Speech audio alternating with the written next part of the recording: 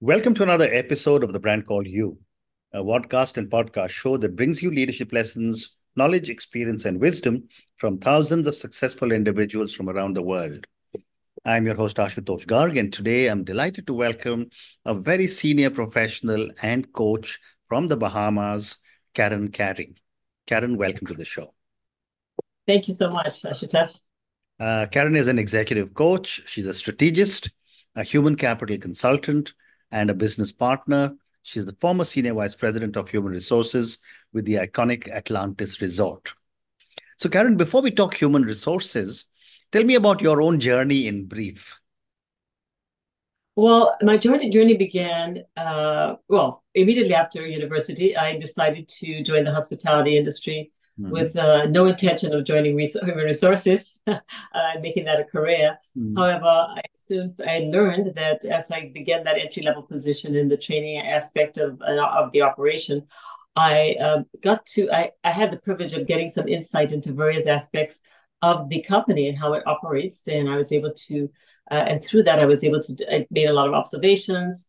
I became a, a, a accelerated by curiosity and began to learn uh, just various aspects of leadership, of management, of uh, and of course the, the, people part of the business as well as, as well as the operational side. Mm. So fast forward, uh, I, I, one of the things I learned is that it, to, to grow and to grow and and progress and achieve your goals is to just again continue to be you know, intensely curious. Mm. And so out of that, I was able to uh, assume various roles, um, very surprisingly. so uh, I was promoted to into human resources and learned a lot.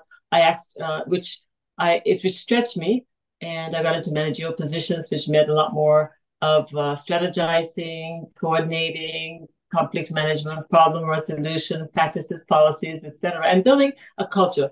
Uh, of course, along the way there were some mistakes. However, they were great learning experiences. I learned from them, uh, which helped me begin to to really strengthen the the core of um, you know just the of leadership.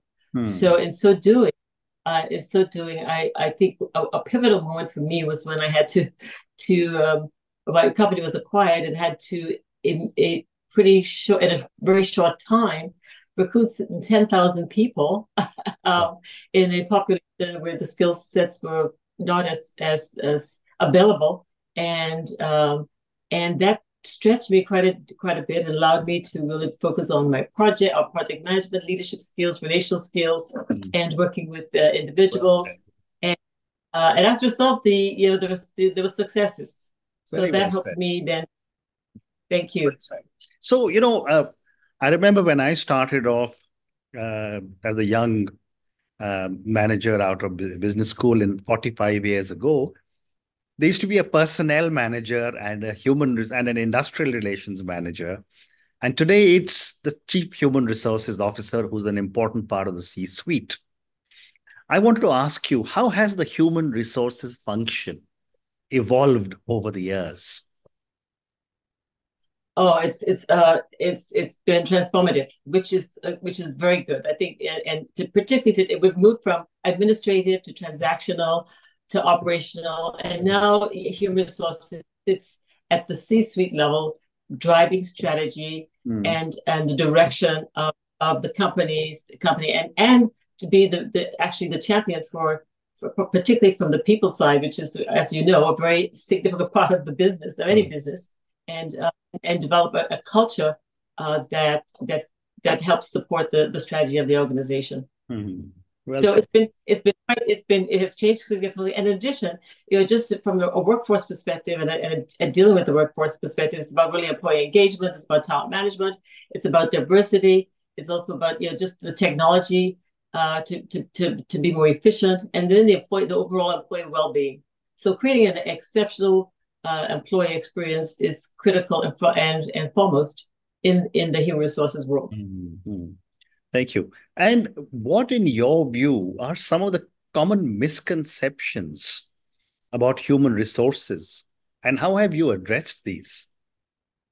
Well, I think just just continuing from what we had just spoken, there's a view, there's a misconception that HR human resources does not does not drive strategy, is not a part of the strategic mm. decisions. So I so also that and there are some views in some, you know, I, I think it's still evolving where there's a, a, perception that HR is still very administrative and uh, maybe hires just hire just hiring and firing, mm-hmm. uh, and maybe some part of payroll. So that so those are some misconceptions, and sometimes also there's a view that that HR is is purely and solely uh, management driven, and uh, and the focus is not it, it does not encompass right. the the element. Hmm. So, you know, I've also been talking to several people, and I find that over the years, technology has started to change human resources to improve efficiency and employee experience. I'd love to get your perspective on what has your experience been. Oh, absolutely. I think it it has just as it has in other other you know operational areas of, of any business and and mm. human, human resources, uh, but in particular, the technology has has I think has transformed its practices, processes, efficiencies. Uh, I think also employee experiences. And one of the things I think in, in the process, and is moving, it has moved rapidly.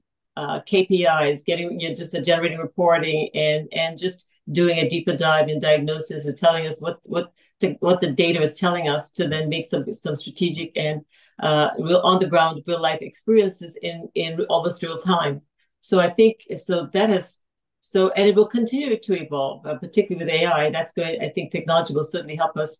Yeah, I think making some thoughtful decisions as we enter into that world, and we're already there. So I think that's exciting. Hmm.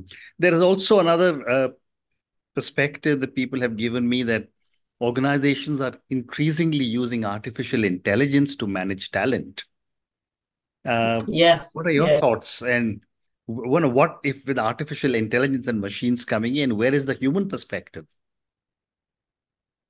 Well, I, I think that's uh, that is going to be it's it's it's a good a, a balance uh, that I think uh, it, just leaders in general have to be uh, made mindful of. Uh, also security, but um, I, I, think it is important that the human element, the human perspective, the interactions, the uh, the relationship building is so vital, and it should not replace that, but it should augment those those experiences. So I think that's some that's it's a challenge, and sometimes we're you you would, would just if we could just press a button or just uh, have have machines do the work for us, which is I think certainly useful and beneficial. However, there needs to be some thoughtful considerations on how do we how do we merge the two and, and ensure that we're not losing the human experience. Mm, very interesting.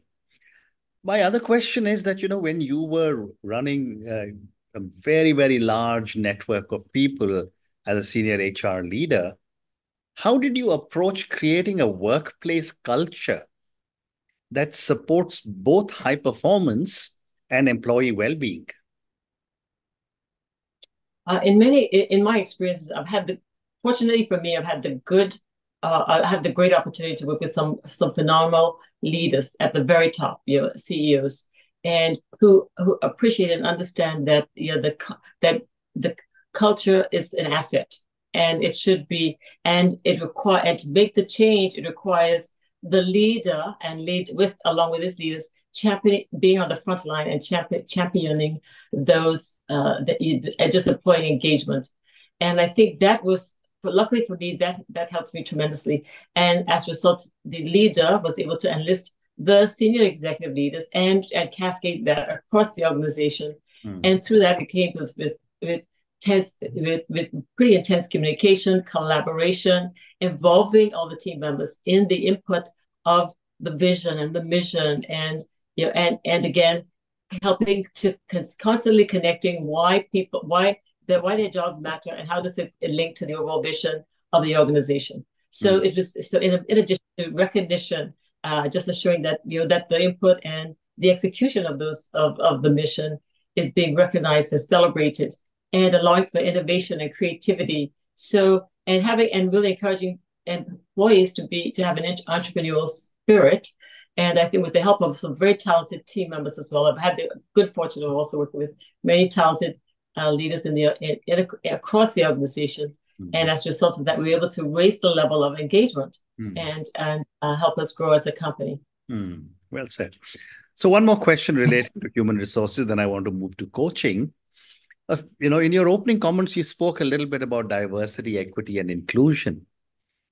I wanted to ask you over the years, as such a senior HR leader, how have DEI practices evolved and what impact have they had in the organizations you have worked in?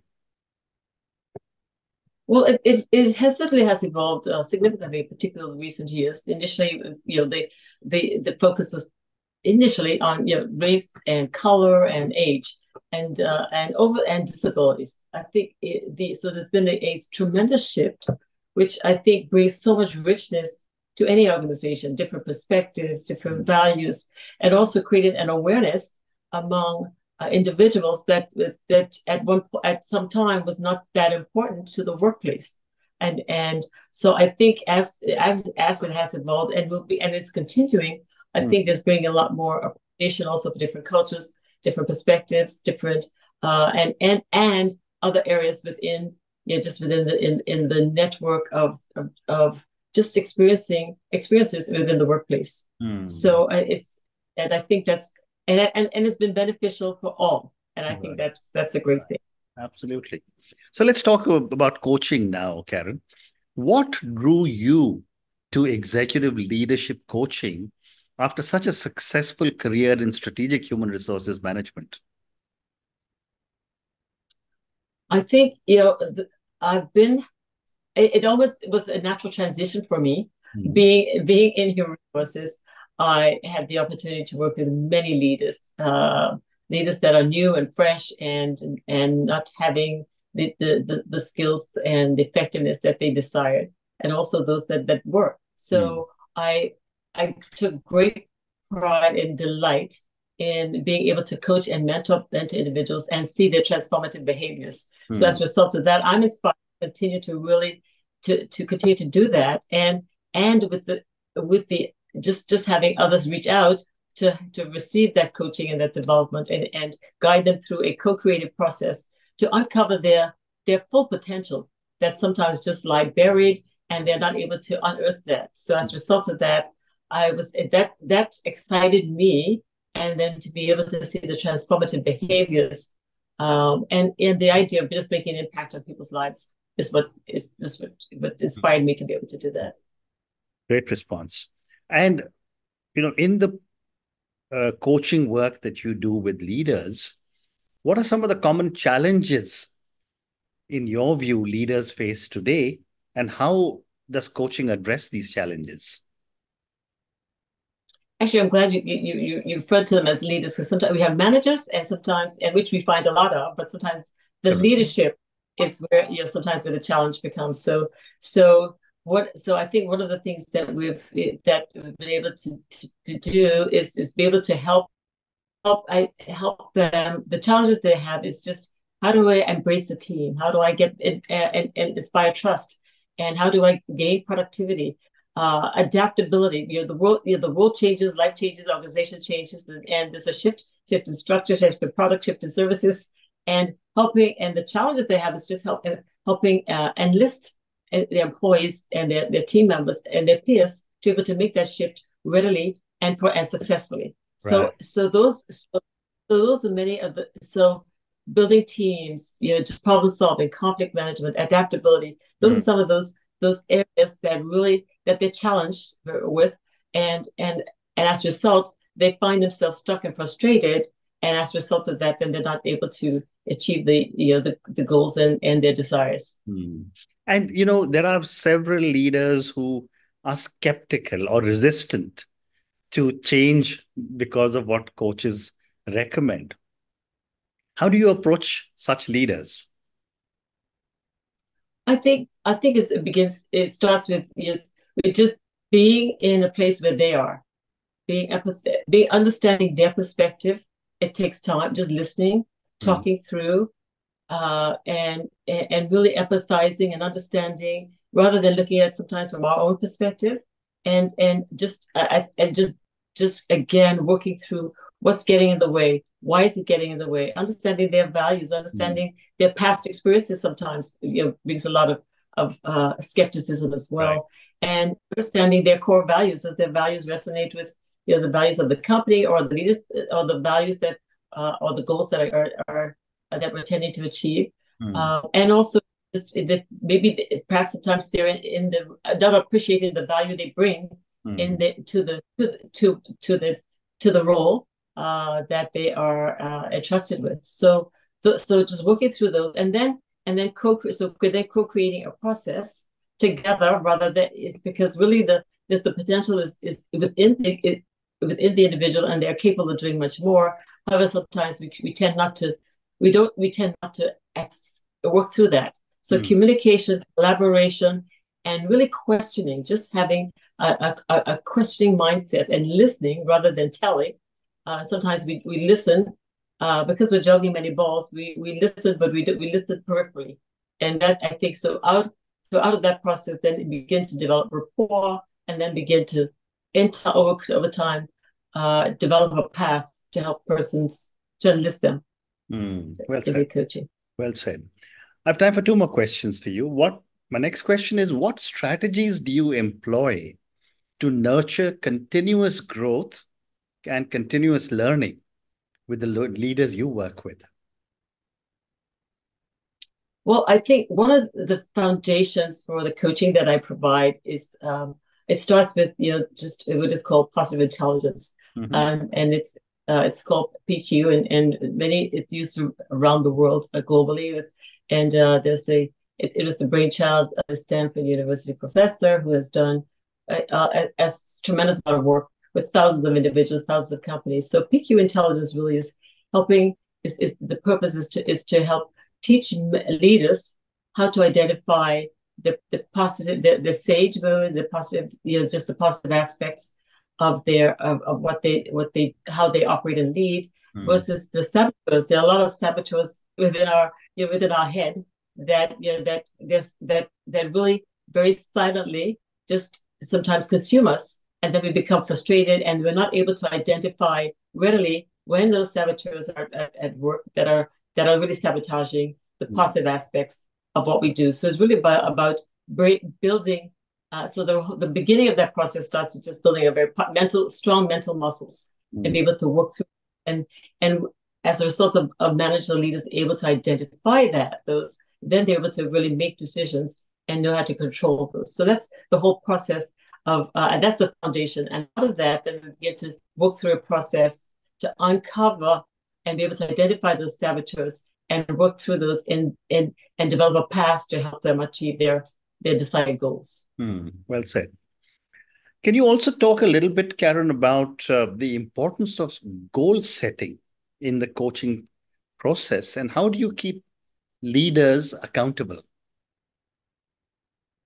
You know, we talked earlier about communication. Goal setting is so critical. Having a clear, very decisive and precise uh, view and and and and agreement around the goal setting. And again, one of the aspects, one of the important aspects that I've found, I've learned is collaboration, ensuring just again working through those goals, understanding those goals, clear roles and responsibilities, and and ensuring and identifying, you know, again from the team, from the team perspective, what do they bring? How can they contribute to each of those goals mm-hmm. as hmm. the collective collective collective team, and giving them again, and then giving them the uh, the, the, the opportunity to to execute on those, to champion those goals. It is again again championing, communicating. It's having some milestones. Accountability is so critical. You know, again, and, and accountability in a positive way, uh, so that it so and then and then and then identify those challenges, those gaps, and sometimes we have to re you know just re-engineer. However, and again celebrate those wins and and then and then again encourage innovation to close the gap and and and to and to continually uh you know, just highlight and and engage mm. to to continue the goals mm. and and mm. also tie those goals into some in, into some positive consequences yeah, so an evaluation and performance and you know and the recognition around those and celebrate them that's it and my last question to you karen how do you think coaching can influence positive organizational change? I think it can because individual coaching, and this it can be group coaching and individual coaching. I focus on individual coaching. Mm. As, at times, at times, it, some individuals need individual uh, path and journey and, and, and an individual roadmap. And sometimes organizations, while there, there, I think there are many efforts to do that, sometimes they do not you know, address and help the individual address their own specific needs and their desires mm. and their own roadmap. So as a result of that, I believe that um, co- collectively and individually, that certainly strengthens the ability to be able to influence you know, to influence the, uh, the the direction of the company. I I, I will tell you a story about a, a, a, leader that I I'm familiar with some time ago. She was she I'll call her Sarah. She was very smart, talented, doing well, progressing, moving forward in her in in in the business, and and really enjoying a number of promotions, enjoying a wonderful life network life. And at some point, as she grew, continued to grow and take on more responsibilities, she hit a roadblock, mm. and she became she, she, And as a result of that, her team was floundering. She was not getting the promotions that she thought she should, or they didn't have responsibilities. Mm. And as, as a result of that, she became flustered and frustrated, and she did not know what to do. Despite her efforts, she still was not accomplishing what she wanted or what she thought she deserved. So right. she, so she for, for some coaching, and she enlisted it with the coach. And out, out of taking the working with the coach, uh, she was able to unearth a lot of the you know understand her, her style, the challenges she was having, her ability to be able to navigate and, and the organizational dynamics. So out of that, she was able to really have a discovery and then put together an, a plan to help her get there. And as a result of that, she was able to, again, over time, enlist the trust of her team it, again, and and of course her you know, her compatriots and her the responsibilities that she mm. that was entrusted, and she was able to then make a, a, great discovery, make some personal changes, and she, she was back on track to enjoying her career. Mm, what a fabulous story! Thank you for sharing this. And on that mm-hmm. note, Karen, I just want to say thank you so much for speaking to me about your own journey, which seems to have been so fascinating. Thank you for speaking to me at length about human resources and so many different aspects of HR that we covered today, uh, including how technology uh, is making a difference in human resources. Thank you also for speaking to me about different aspects of coaching. Thank you again and good luck to you. Thank you so much, and, and to you. Thank you for listening to the brand called You videocast and podcast, a platform that brings you knowledge, experience, and wisdom of hundreds of successful individuals from around the world. Do visit our website www.tbcy.in to watch and listen to the stories of many more individuals. You can also follow us on YouTube, Facebook, Instagram, and Twitter. Just search for the brand called You.